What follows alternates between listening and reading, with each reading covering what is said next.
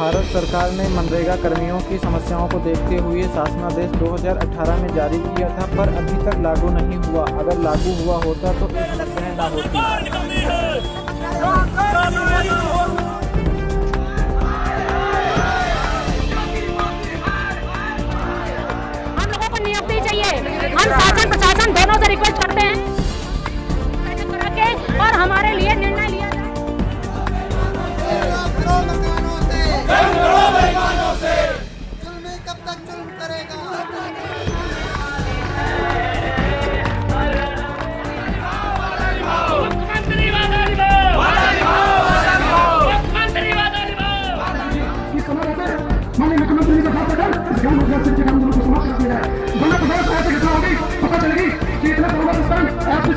के खिलाफ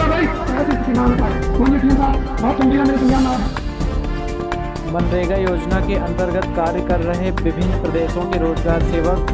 एवं समस्त मनरेगा संविदा कर्मचारी हमेशा से मानदेय बढ़ोतरी, ईपीएफ आदि समस्याओं को लेकर आंदोलनरत रहते थे, जिनसे निजात पाने के लिए भारत सरकार ने कड़ा कदम उठाते हुए एक ऐसा शासनादेश जारी किया जिसमें ये बात कही गई कि मनरेगा कर्मियों की कंटेजेंसी जो अब तक तीन प्रतिशत थी, उससे बढ़ाकर छः प्रतिशत कर दी जाए और उनका ईपीएफ कटना शुरू हो जाए। इसके लिए रजिस्ट्रेशन कराने का शासनादेश भी जारी हो गया था। यह शासनादेश 2018 मई 2018 में जारी हुआ था, लेकिन सरकार में कार्यरत कई ऐसे लापरवाह कर्मचारियों की वजह से आज भी संविदा कर्मी दर दर की ठोकरें खा रहे हैं, पर अभी तक ईपीएफ कटौती नहीं हो पा रहा है, ना तो उनका ईपीएफ फार्म जमा हो रहा है।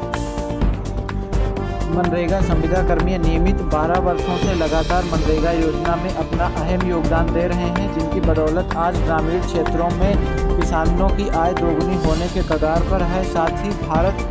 विश्व की सबसे मज़बूत छठी अर्थव्यवस्था बन रहा है, लेकिन रोज़गार सेवकों की स्थिति पहले से भी बदतर होती जा रही है।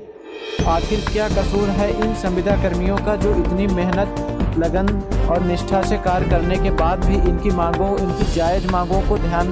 में नहीं रखा जाता है? सरकारें चुनाव आते आते समान कर समान वेतन की दुकानें खोल देती हैं और